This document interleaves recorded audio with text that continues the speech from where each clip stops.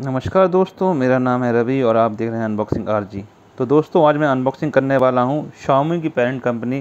Poco की तरफ़ से आने वाले एक बजट फ़ोन की अनबॉक्सिंग यानी पोको एम थ्री की अनबॉक्सिंग तो चलिए शुरू करते हैं अनबॉक्सिंग बिना किसी देरी के।